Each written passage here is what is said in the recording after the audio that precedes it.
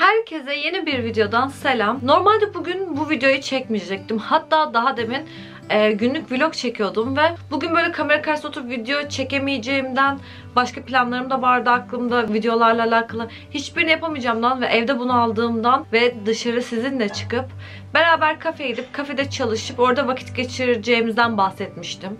Tam olarak ne oldu biliyor musunuz? Bu videoyu niye çekemeden çıkacaktım? Çünkü not defterimi kaybettim. Not defterimi bulamıyordum. Bu yüzden de bu videoyu çekmeden günlük vloga devam edecektim. Sonra çantama eşyaları doldururken bir baktım. Çantamda not defterini buldum. O not defterinde e, burada söyleyeceğim maddeleri yazmıştım. Ve dedim ki tamam o zaman çıkmadan evden bu videoyu çekeyim. Daha sonrasında günlük vloga devam ederim bu şekilde. Böyleydi. Bugün bu videoyu çekmemin sebeplerinden biri de aslında çok büyük şeyler değil. Mesela küçük şeylerden de mutlu olduğumuzu kendimize biraz hatırlatmak. Şunu fark ettim ve geçen terapistimle de şunu konuştum ben. Mesela evet maddi açıdan büyük şeyler almak beni mutlu edeceğini düşünüyordum. Mesela işte şuyum olsun çok mutlu olacağım kesinlikle. Şuna sahip olursam çok mutlu olacağım vesaire. Daha sonrasında bir baktım. Beni o kadar da mutlu etmiyormuş. Yani ona sahip olmak tabii ki de beni bir noktada mutlu ediyor. Ama beni asıl böyle çok mutlu eden şeylerin bunlar olmadığını fark ettim. Normalde öyle sanıyordum. Bunun yeni farkına vardım açıkçası. Çünkü benim mutlu olduğum şeyler daha küçük şeylermiş ve ben bununla alakalı bir yazı okudum. Aslında mutluluk öyle kovalayıp sahip olacağımız şeyler değilmiş gerçekten. O yüzden ben de beni mutlu eden şeyleri yazdım ve belki bu video size ilham olur. Ee, siz de mesela sizi gerçekten ama gerçekten mutlu eden, mutlu etmiş anılarınızı böyle ya da sahip olduğunuz şeyleri not alırsanız belki arada dönüp açıp bakarsınız ve siz de kendinize aslında mutluluğun bu kadar da uzakta olmadığını hatırlatabilirsiniz. Benim bu videoyu çekmemdeki amaç bu. İlk maddelerimden biri kitap okumak. Ben kitap okuma bağımlısı gibi bir şeyim. Ama bence çok kitap okuyan insanların yanında bence o kadar da kitap okuduğumu düşünmüyorum. Yani mesela her gün Buna vakit ayırmıyorum ama bazen her gün buna vakit ayırabiliyorum. Olabildiğince herhangi bir ulaşım aracında kesinlikle e, açıp kitap okuyorum. Ve her ay iki tane kitap bitirmeye çalışıyorum. Kitap okumanın beni mutlu etmesinin sebeplerinden biri de şöyle. Kendi hayatımda sahip olamayacağım ya da şu ana kadar sahip olmadığım farklı dünyalara girmemi sağlıyor. E, o kitabı okuduğum zaman bilmiyorum siz de öyle misiniz ama ben o kitabın içerisine girdiğim zaman sanki başrolde karakter benim ya da ben onun arkadaşıyım da o olayları beraber yaşıyormuşçasına o kadar içine girebiliyorum. Yani gerçek dünyadan çok uzaklaşıyorum. Bu iyi mi kötü mü bilmiyorum. Ama kitapların dünyasına girebildiğim için kitaplar benim için her zaman bir macera oluyor. Böyle yaşamadığım ya da gitmediğim ülkelerdeki hayatlara sanki hayatların sanki içine girebiliyorum ve e, zaman geçirebiliyormuşum gibi hissediyorum. O yüzden kitap okumayı çok seviyorum. E, kitap okumayı size önerebilirim. Yani bu şeyden dolayı değil. İşte daha bilgili, daha kültürlü, daha elit gözükün anlamında değil. Kitap okumak sadece farklı dünyalara götürdüğünden o an diyelim siz böyle çok mutlu bir zamanınızda değilsiniz. Üzgün bir zamanınızda olabilirsiniz. Ee, canınızın sıkıldığı oluyor olabilir. Bu yüzden bence kitap okumak çok iyi bir terapi bunun için. Bence kitap okumayı sevmiyorsanız yani tabii ki de bütün insanlar için demiyorum ama bazen insanlar doğru kitabı bulamamış olabiliyor. Doğru kitabı bulmakta hani birazcık araştırırsanız hangi konuları seveceğinizi bulabilirsiniz. Ben mesela genel olarak baktığım zaman hiç polisiye kitabı belki okumamış olabilirim. Ama aşk kitapları okumayı çok seviyorum ve olabildiğince aşk kitabı almaya çalışıyorum. E, kitaplığımın çoğunluğu aşk. Onun dışında farklı kitaplar da var ama ya, çoğunluğu aşktır kitaplığımdaki kitapların. Size merak uyandıracak, okumayı seveceğiniz türden kitaplarla başlayabilirsiniz. İlla herkesin okuduğu, şu anda popüler olan kitapları ya da herkesin okuması gerekecek olan kitapları şu anda okumanıza gerek yok. İlk başta şey olarak başlayabilirsiniz. Hani size merak uyandıracak. Mesela benim gibi çok romantik bir insansınız. Belki aşk kitapları okumak sizin hoşunuza gidecektir. Belki gerilim kitapları okumak. Mesela ben gerilim kitabı okuduğum zaman bir film izliyormuşçasına gerilebiliyorum. Böyle o hissi aynı şekilde yansıtabiliyor kitaplar. O yüzden böyle ufak ufak hoşunuza gideceği ya da ince kitaplarla başlayabilirsiniz. Eğer kitap okumuyorsanız ve videodan sonra okumaya başlarsanız eğer ki ne demek istediğimi anlayacaksınız. Burada sizin de sevdiğiniz kitaplar varsa yorum olarak yazmayı unutmayın. Kendi tarzım dışında farklı kitaplarda e, okumayı çok isterim. Kitap bölümünü ne kadar uzun tuttum. İkinci olarak da şöyle Tüylü eşyalar. Şöyle söyleyeyim bakın şimdi. Bende sürekli kürkler falan var ya da montlarım bile tüylü genel olaraktan. Ya da bir kıyafet alıyorsam böyle tüylü demek değil de peluş olabilir. Peluş kıyafetler. Ya da onun bir adı var mı bilmiyorum ama öyle göstereyim. Mesela kalemim tüylü. Bazı çantalarım tüylü. Yumuşak, tüylü şeyler benim çok hoşuma gidiyor. Kendimi daha içinde tatlı hissediyorum. Ya ayıcık gibi gezmek mesela benim hoşuma gidiyor. Böyle tüylü tüylü üstümdeki bilmiyorum bunlar beni çok mutlu ediyor. O yüzden olabildiğince e, bir şey alacaksam tüylü şeyler almaya çalışıyorum. Bu kalem olabilir, mont olabilir, çanta olabilir. Beni böyle inanılmaz mutlu ediyor da bir kırtasiyeye gittiysem ya da bir mağazaya gittiysem tüylü böyle peluş bir kıyafet ya da eşya gördüğüm zaman kesinlikle onlara dokunuyorum ve bu beni mutlu ediyor. Üçüncü olarak tüylü peluş şeyden gidersek peluş oyuncaklar. Biliyorum yaşım bunun için büyük. Bunları alarak içimdeki küçük Melis'i mi mutlu ediyorum bilmiyorum ama şimdi göstereceğim size. Şu an elimde 3 tane peluş oyuncağım var. Ee, bir tanesi babamın evinde. Bayılıyorum.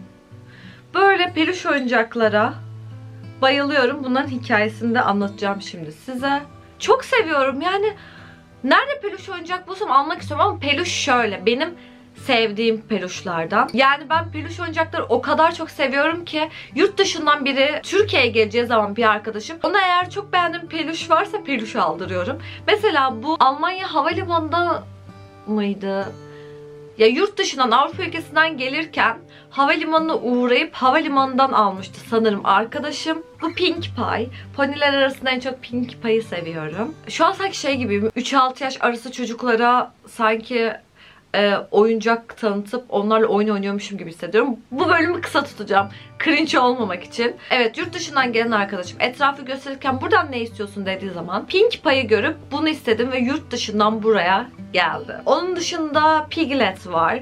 Ee, Piglet'i kız kardeşim bana aldı. Çünkü Winnie Pooh çizgi filmindeki her bir karakter e, bir psikolojik rahatsızlığı anlatıyormuş. Bu ne kadar doğru bilmiyorum ama her yerde yazıyor. Piglet de anksiyeteyi yansıtıyormuş. O yüzden kız kardeşim de bana bunu aldı. E, kendini kötü hissettiğin zaman buna sarılırsın diye. Hatta bazen yanımda taşıdığım oluyor. Yani böyle psikolojik olarak kötü bir dönemdeysem ve dışarı çıkıyorsam kesinlikle çantama Piglet koyuyorum ve dışarıda kendimi kötü hissederken onu tutuyorum böyle.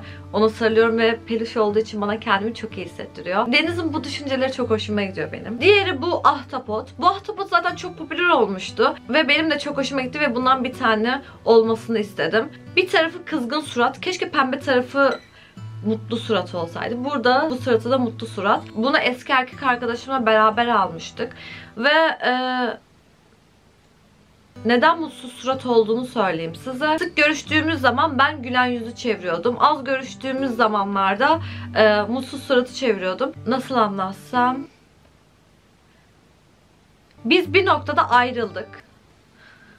Nasıl anlatsam?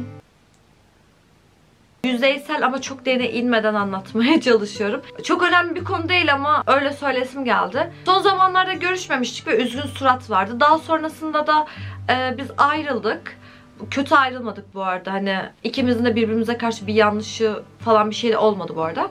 Ee, ayrılıktan sonra mutsuz surat kaldı bu böyle. Mutsuz suratla devam ediyor hayatını. Ne kadar uzattım. Bu bölümü anlatabilmek için kaç dakikamı harcadım bilmiyorum ama böyle kısaca bir şey geçmek istedim. Bir diğeri kız arkadaşlarımla balkon sohbetleri. Bu olaya bayılıyorum. Mesela gün içerisinde evde bir sürü şey yapsam bile ya da dışarıda. Kız arkadaşlarım aradığında sana geliyoruz. Kahve suyu koy dedikleri zaman ben inanılmaz mutlu oluyorum. Hani illa böyle çok önemli konuşacağımız şeyler falan olmasa bile kız arkadaşım böyle balkonda kahvelerimizi alıp oturup sohbet etmeye bayılıyorum. Bunlardan biri de Çilem'in evi mesela. Balkonu yok ama onun salonunda oturup kahve içip sohbet etmek mesela çok seviyorum. Balkon sohbetleri bir ayrı tatlı oluyor. Tabii ki de evin içinde salonda oturup da sohbet etmek de ayrı oluyor. Ama özellikle balkon sohbetleri beni böyle çok keyiflendiren bir şey. Hatta dışarıda bir kafede oturmaktan daha çok mutlu oluyorum balkonda oturup sohbet etmeye başladığımız zaman. Onun dışında yazın sahilde bisiklet sürmek. Bana son zamanlarda en mutlu olduğun adımı sorsanız ya son zamanlarda değil yani son bir sene içerisinde en mutlu ne zaman oldun derseniz eğer aklıma en çok tek bir anı geliyor. Yani bir sürü anılarım vardır tabii ki de. Sahilde bisiklet sürmek. Çilemle beraber bir gün kendimi kötü hissettiğim zamanlarda Çilem'e gitmiştim ve Çilem'le beraber dışarıda buluşup bisiklet sürmeye karar verdik. Sonra sahil boyunca bisiklet sürdük. Sonra sandalyelerimizi açıp e, şarap içtik beraber falan. O bisiklet sürmek yemin ediyorum sanki cennette bisiklet sürüyorum. Havanın sıcaklığı, hafif esiyor olması, bisikletle gezmek, terapi. Derseniz ki bir terapiye gittiğin zaman mı kendini daha iyi hissediyorsun? Sahilde bisiklet sürmek mi? Sahilde bisiklet sürmek. Beni o kadar mutlu ediyor ki yani bir şeyin beni neden bu kadar mutlu ettiğini bilmiyorum. Hani alt üst sahilde bir bisiklet sürüyorsun. Çok mutlu ediyor. Böyle içim içime sığmıyor böyle sahilde bisiklet sürün. Bunun sebebini bilmiyorum. Demek ki ruhumun seveceği şeyleri fark ediyorum demek olur sanırım. Yani ben daha öncesinde sahilde bisiklet sürmeyi beni bu kadar mutlu edeceğini bilmiyordum. Bir deneyim dedim ve gerçekten ruhumun istediği şey buymuş. Bir diğer renkli makyajlar. Ben makyaj yapmayı çok seviyorum. Hatta şöyle makyaj yapmayı çok seviyorum. Mesela prenses makyajı olsun, euphoria makyajı olsun, festival makyajı olsun beni değiştirebilecek böyle ya da çizgi film karakterine döndürebilecek, bir böyle film karakterine döndürebilecek makyajları çok seviyorum. Taşlı olabilir, simli olabilir, renkli makyajlar. Bayılıyorum ve son zamanlarda zaten Instagram'a baktıysanız sürekli o tarz makyajlar var. Çünkü gittim her etkinlikte surat makyajı yapılıyordu. Hatta bazen mesela biz e, parti verdiğimiz zaman çilemlerle beraber hep makyaj stilimiz Euphoria. Her partide Euphoria makyajı yapıyoruz. Artık başka bir makyaj bilmiyormuşuz gibi. Ve sürekli ben şu anda bile dışarı çıkarken taş takmak istiyorum suratıma. Bayılıyorum. Hatta Burada bir yerde vardı şu an bulamadım. Renkli makyaj yapmak bana kendimi iyi hissettiriyor. Böyle renkli farklı daha demin anlattığım gibi. Bayılıyorum. Çok seviyorum. Bir diğer beni en çok mutlu eden şeylerden biri video çekmek. Video çekmeyi ben oldum olası çok istiyordum. Şey videoları değil. Kendimle alakalı videolar çekmeyi çok seviyorum. Kendi hayatım olsun, size anlatacağım şeyleri çekmek olsun, dışarıda gördüğüm şeyler yani biraz böyle hayatı benim gözümden sizlere göstermeyi çekmeyi seviyorum ben. Doğru bir cümle yani tam kuramadım cümleyi ama video çekerken şunu fark ediyorum. Bu hayatta ne yapmak istediğimi büyük anlamda bahsediyorum size. Biliyorum yani hem küçük hem büyük anlamda daha doğrusu. Ben bu hayata bir şeyler çekmek için, sizlere bir şeyler göstermek için gelmişim gibi hissediyorum bir yandan. Hani e, belki hayata gelme amacım daha farklı ya da daha büyük bir şeydir. Bilmiyorum. Ama benim şu anda bu alanda hayatımın hissettiğim şey video çekmek. Video çekmek beni çok rahatlatıyor. Yani video çektiğim zaman evet yapmam gereken bir şey yapmışım gibi. Hani yapmak zorundayım gibi değil. Ben bugün video çekmek zorundayım çünkü para kazanmam lazım amacıyla değil de ben bugün video çekmeliyim. Çünkü hayatımı kayıt altına almayı seviyorum bir. İkincisi video çektiğim zaman siz oraya yorum yaptığınız zaman sanki o günü sizinle beraber yaşamışım gibi hissetmeyi seviyorum. Ee, size bir şeyler göstermeyi seviyorum. Dışarıda bir şeyler çektiğim zaman dediğim gibi hayatı benim gözlerimden görmenizi göstermek hoşuma gidiyor. Ben bugün niye cümle kuramıyorum? O yüzden video çekmenin yeri bende hep ayrı. Mesela küçükken şunu fark etmiştim ben. Çok küçükken hep istediğim şey bir reality show'umun olmasıymış. Keşke bir kayıt altına alınan bir şey olsaydı. Yani birinin kamerayla çekmesi değil de hayatımız, bütün hayatımız kayıt altına alınıyor olsaydı. Hatta bu Black Mirror'ın bir sezonunda, bir bölümünde gösteriyorlardı. Gözümüzde gördüğümüz her şeyi beynin kaydetmesi ve sonra açıp izleyebiliyor olmamız. Benim istediğim şey de gözle gördüğümüz değil de böyle bir herhangi bir reality show'daki gibi bizim hayatımızı çekmeleri ama kameralar olmayacak. Görünmez bir şey bu şekilde hayatımızı çekti ve daha sonrasında bizim açıp onları izleyebileceğimiz bir şey olmasını istiyordum. Ama bunun mümkün olacağını asla düşünmüyordum. Hani öyle bir şey zaten mümkün değil. Belki öldükten sonra. Sonrasında bir baktım bunu kamera alıp kendim yapabiliyormuşum. Ve çok küçüklüğümde istediğim bir şey ve şu anda onu yapıyor olmak beni mesela çok mutlu ediyor. Bir diğeri savaşça geçen aşk filmleri izlemeyi çok seviyorum. Mesela en sevdiğim filmlerden biri Pearl Harbor. Savaş bölümü evet üzücü ama savaşta böyle o zorluğun içinde bile o yaşanılan aşk beni çok mutlu ediyor. Bunu yaşamak ister miydim bilmiyorum çünkü çok zor bir şey. Hani savaşın ortasında bir aşk yaşamak. Çünkü hani zor bölüm olan hani savaşın ortasında yaşanan aşk değil de savaş bölümü. Tabii ki de savaşı görmek istemezdim. Ama o filmleri izlemeyi çok seviyorum. Eğer siz de biliyorsanız ki savaşın içinde aşk geçen film konuları lütfen yorum olarak yazın çünkü benim en sevdiğim konsept. Pearl Harbor'ı kaç kere izledim bilmiyorum. Ben her şeyi böyle bir kere daha izlemeyi sevmem. Pearl Harbor'ı her gün izleyebilirim. O kadar çok seviyorum yani. Bilmiyorum beni mutlu ediyor. Yani böyle ben zaten çok romantik, çok aşk aşk insanıyım. Aşkı çok seviyorum. Bu yüzden aşkla alakalı mesela Notebook'u çok sevmiştim. O savaş geçmiyordu hatırlamıyorsun. Yok. Savaş geçmiyordu ama oradaki aşk mesela çok hoşuma gitmişti benim. Ya da böyle bildiğiniz romantik aşk, böyle çok sevdiğiniz filmler varsa bunları da yorum olarak yazabilirsiniz. Bir diğeri Sims oynamak. Sims oynamayı çok seviyorum ve ilkokuldayken bizim bilgisayar dersimiz vardı. O zamanlar bilgisayar dersi vardı. Şu anda bilgisayar dersi var mı bilmiyorum. Ama ilkokuldayken bizim bilgisayar dersimiz vardı ve bu bilgisayarlarda ders işlerken bir baktım arkadaşlarım bir oyun oynuyor. Oynadıkları oyun Sims 1 ve ben onu görünce inanılmaz hayranlık duymuştum ve dedim ki evet benim oynamak istediğim oyun bu. Bu benim bütün hayatım boyunca oynamak istediğim oyun. O zamanki küçük Melis'e şu andan bir şey söylemek isteseydim bilgisayarın var bilgisayarında Sims 4 yüklü. Bilmiyorum belki oynamayanlar vardır size biraz bahsedeyim. Sims'te istediğiniz şehirde yani Sims'in kendi şehrinde bir yerde ev yapabiliyorsunuz. İstediğiniz evin dekorasyonu, içinde eşyalarını kaça dolu olmak istediği bahçesinde göl olup olmayacağı böyle her şeyi. Onun işte karakterleri yaratıyorsunuz. Daha sonrasında çocuk yapıp çocukları büyütüp okula gönderebiliyorsunuz. Bayılıyorum ben. Çünkü benim zaten ya dekorasyon olaylarını ben çok seviyorum. Bundan bahsetmedim ama mesela onu yazmamıştım ama dekorasyonla alakalı şeyleri çok seviyorum ve bir ev yapmak benim hoşuma gidiyor. Yani böyle gelecekteki hayalini kurduğum evleri yapmaya çalışıyorum. Onun dışında e, ben çok Yengeç burcu olduğumdan dolayı olabilir. Aile kurmayı isteyen ve çok çocuklu bir ailemin olmasını istiyorum. Çocukluğumdan beri bana kaç çocuk istersin diye sorsalar 6 çocuk diyordum. Yani 2 ya da 3 çocuğu evlatlık edinmek istiyorum. Kalan 3-4 çocuğu da kendim doğurmak istiyorum. Hani ben anne olmak için bir noktada dünyaya gelmişim gibi de hissediyorum. Yani herkes olabilir. Yani herkes anne olabilir. Şey değil ama demek istediğim benim amaçlarımdan biri de gerçekten anne olmak.